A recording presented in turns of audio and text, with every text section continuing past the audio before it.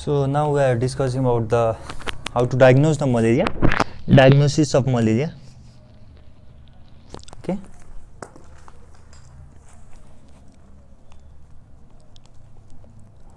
Uh, so if a patient present from a malarious area, malarious area, so then thick and thin film must be prepared. Thick and thin film, thick and thin smear should be prepared and if it is negative and if it is negative when examined by a when examined by experienced microbiolo- microbiologist experienced by experienced examined by experienced microscopist okay then does not have malaria. We can presume that the patient does not have malaria okay. So first is the thick film and the thin film okay?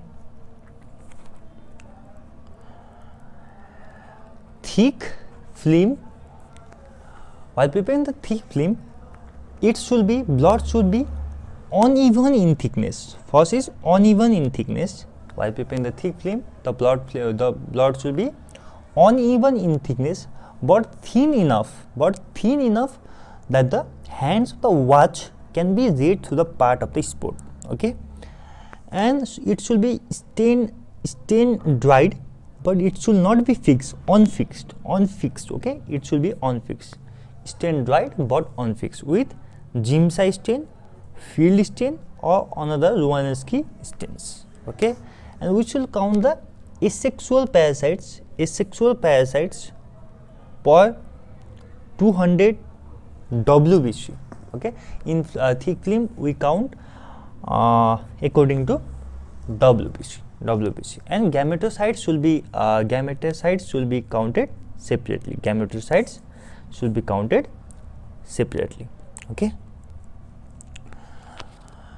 Whereas in the thin film thin film the uh, uh, the blood the blood film should, should be fixed. Should be fixed. Okay? Uh, this uh, the unfixed in thick film but it should be fixed in the case of thin film okay? And here in case of thin film we count the asexual parasites per thousand WB, W- RBC okay? In case of thin film we count according to RBC but in case of thick film we count according to WBC and in case of thin film uh, we can also see the parasite development stage okay? Parasite developmental stage we can also see the parasite development stage. We can also count the neutrophils count the neutrophils containing the malarial pigment count the neutrophils containing malarial pigment okay? And in this case also gametocytes will be counted separately gametocytes will be counted separately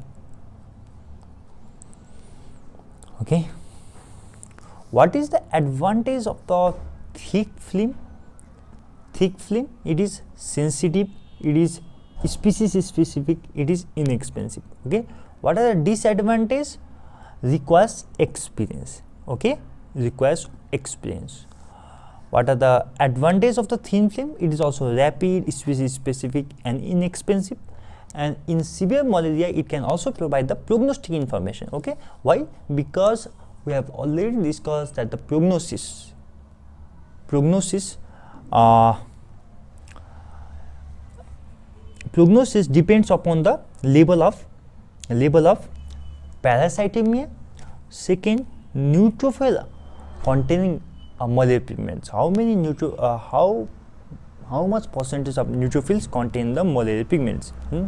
these are important in the prognosis. So uh, through the thin film we can also it also helps in the case of prognosis prognosis okay?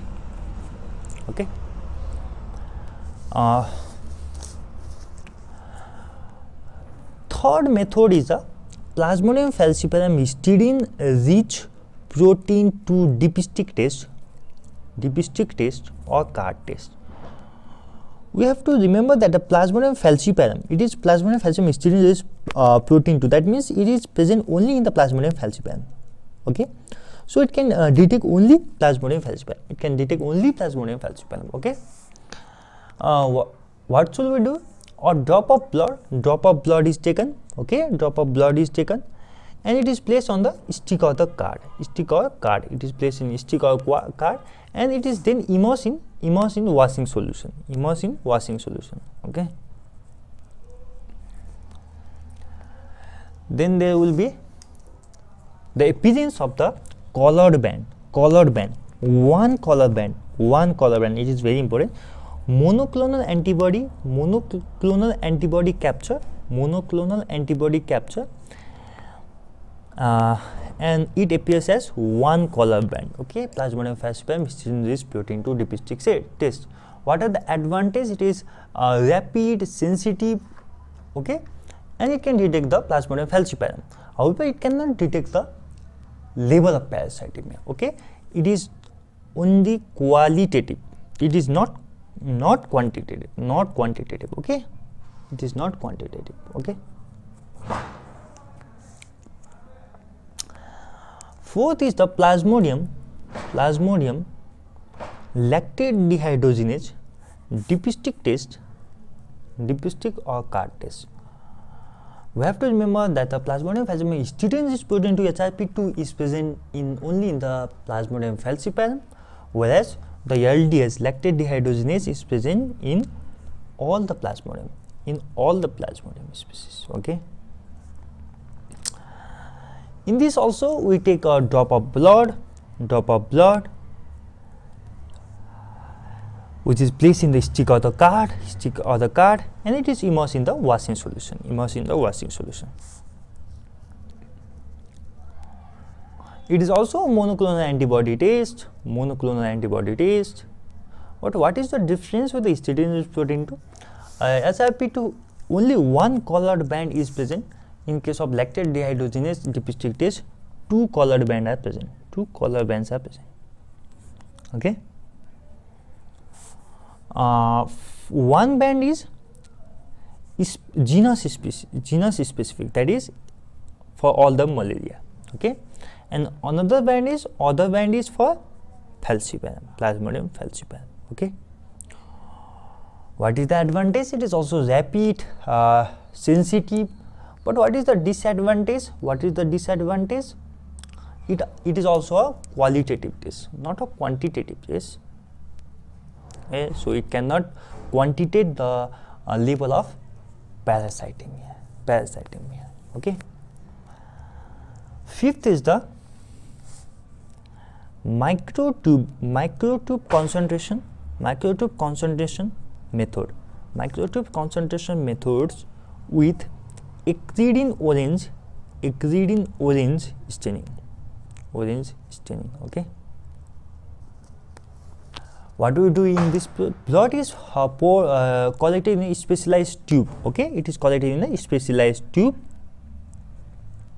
and it contains the acridine orange. Acridine orange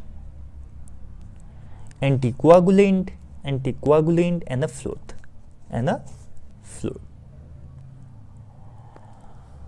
then centrifugation is done. Centrifugation is done. It will concentrate the parasite okay? And fluorescent microscopy is performed. Fluorescence microscopy is performed. Fluorescence microscopy performed. It is also sensitive it is also uh, it is also sensitive or uh, similar or superior to that of the thick film. Ideal for it is ideal for processing of processing of large samples large samples rapidly okay? Large samples can be rapidly processed. But what is the disadvantage? It also qualitative test and it cannot quantitate it cannot quantitate. First it cannot quantitate. And second it also it requires the fluorescence fluorescence microscopy. It requires the fluorescence microscopy okay?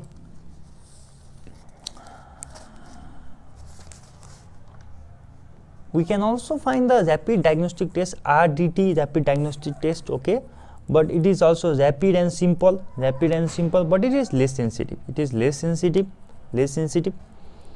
And it can uh, give false positive false positive in case of RA when the RA factor is positive. RA factor is positive it can give the false positive results PCR is highly sensitive. PCR is highly sensitive. And we use the uh, PBR PBRK1 primer in uh, the PCR but it is not used uh, it is not used uh, in general practice. It is only used for epidemiological purposes epidemiological purposes okay? And other serology other serology like ELISA and immunofluorescent uh, they are also used for screening purposes but they cannot be used for not for diagnosis not for diagnosis. Okay. We have already discussed the uh, relationship between the parasite density parasite density and the parasite density and the prognosis. Yeah? Yes in uh, if the level of parasitemia is greater than 100000 then there is increased mortality increased mortality. And if the level of parasitemia is greater than 500000 then there is high mortality okay? And if uh, if uh, the parasite 20% of parasites 20% of parasites identified as identified as color pigment uh, pigment containing pigment containing trophozoites and schizonts trophozoites and schizonts then it also carries the poor prognosis or greater than 5% of neutrophils neutrophils contain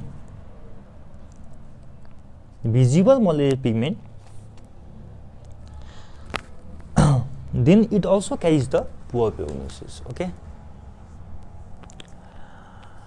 uh, the uh, gametocytemia that means the level of gametocyte peaks one week after the asexual parasite density. That means when the asexual parasite density peaks, the level of parasitemia peaks, after one week the gametocytes level also increase.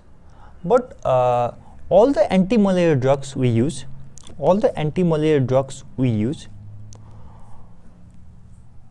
do not affect, do not affect gametocytes. So, even after the successful treatment with the anti-malaria drugs, the gametocytes may be present. The gametocytes may be present in the circulation. But they're persistent, so they're persistent. So their persistence does not constitute does not constitute that evidence of drug resistance. That means even though they are present, gametocytes are present, it does not imply that uh, there is drug resistance or the we need or there is need for retreatment. Okay. Sometimes the molecular pigments, the phagocytosils may become visible for weeks. Okay. Molecular pigments, molecular pigments in phagocytosil phagocytose uh, cells may become visible for weeks okay so the mature gametocytes may be present the the molecular pigments may be present but they do not imply that uh, we need to retreat the patient or there is any kind of drug resistance. Okay